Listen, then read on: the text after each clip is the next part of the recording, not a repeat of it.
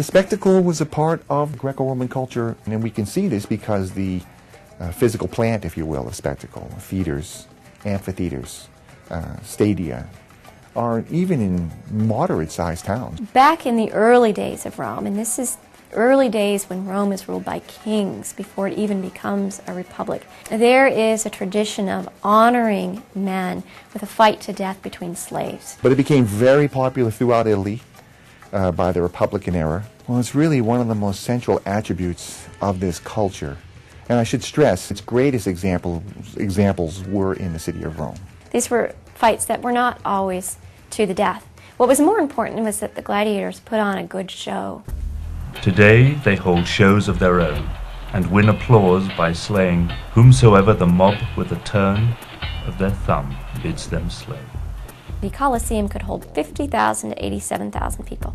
Consider what went on in the Colosseum is it wasn't just about sport and gladiatorial combats, but it was also about showing the might and even the technology of the Roman Empire. It was very important to maintain this this anomalous population, perhaps a million people. The Circus Maximus was an oval for chariot racing, and it could accommodate up to 250,000 people. They're constantly trying to outmaneuver each other, and people would get knocked out of chariots and get trampled to death. And so there is just a, the brutal nature to both of these spectacles. Behold, an equal thing worthy of a god, a brave man matched in conflict with evil fortune at least some element of Rome enjoyed the dramatic presentations. Some element did because they built so many theaters. But at those times, the theater actually had to compete with gladiatorial combat in terms of the public being able to see plays. They would often be staged either in the old Greek amphitheaters that still survived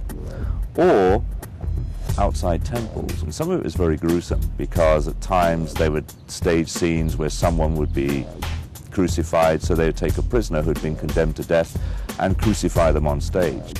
The Romans didn't have a seven-day week the way we do.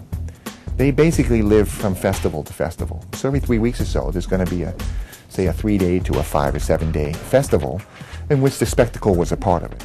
The Romans tended to take a good idea and take everything to excess. And that's their whole thing was taking things to. They were very American that way, taking things to excess.